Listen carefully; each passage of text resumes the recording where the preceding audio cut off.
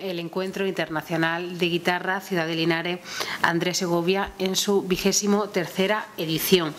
Un año más, el mes de noviembre y la Fundación Andrés Segovia se convierten en cita obligada para la guitarra de todo el mundo. Un año más, como, como digo, organizamos este encuentro que es una actividad muy importante para nosotros, una actividad ya absolutamente consagrada, como he dicho hace un momento, 24 ediciones y que eh, 23 ediciones, perdón, y que viene a rendir un mayor tributo, si cabe en estos días de forma más especial, al maestro Segovia, al margen del trabajo y del esfuerzo que desde la fundación que lleva su nombre se realiza durante todo el año por mantener vivo su legado y su obra. Un encuentro que comenzará el próximo viernes, 14 de noviembre, y como no puede ser de otra manera, será la, Fundación Andrés Segovia la sede, la sede del, del mismo y que se extenderá hasta el domingo 23 de noviembre. Como siempre y como ya viene siendo habitual en las pasadas ediciones, se compone de tres partes, de un ciclo de conciertos, de un curso y de un concurso.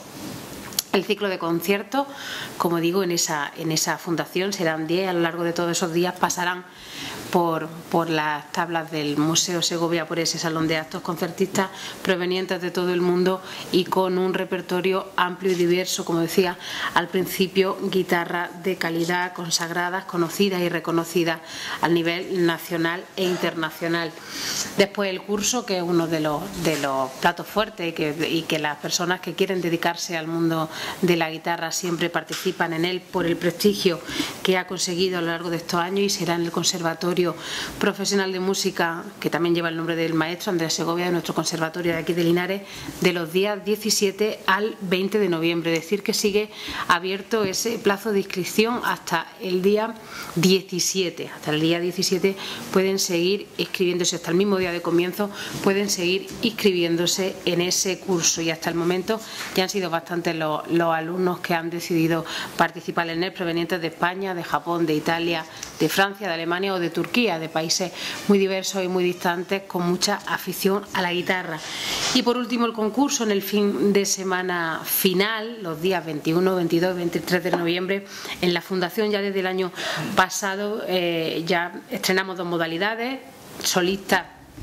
y dúos, tríos, cuartetos o más guitarra en la modalidad de solista un premio muy importante, un premio económico con una dotación importante, 5.000 euros, que en esta ocasión es donado, esa cantidad donada por la Escuela de Guitarra Española de Tokio, dirigida por Takeshi Tezuka, una persona muy vinculada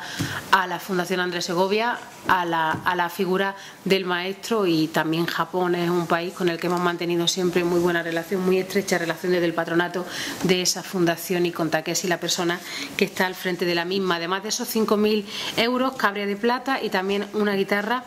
importante de, Casimiro Lozano valorada en, en 4.000 euros. Perdón. Y además del concierto que luego tendrá lugar, la persona que gane ese premio, el concierto que luego dará en la edición del año que viene del Encuentro Internacional de Guitarra. Un segundo premio dotado de 2.500 euros y un tercer premio de 1.000. Luego, en esa modalidad que estrenábamos el año pasado de dúos, tríos, cuartetos más guitarra, un primer premio de 2.000 euros,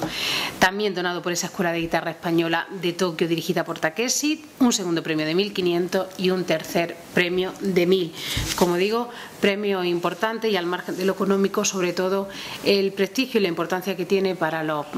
para los aficionados de la guitarra y para las personas que quieren dedicarse profesionalmente a la música y tocar este instrumento, lo importante, como digo, que es para ellos participar en una actividad de este tipo en el, en lugar, en la casa del maestro que tanta, que tanta vinculación tiene para ello y que tanto valor tiene, tanto sentimental como profesional y artístico.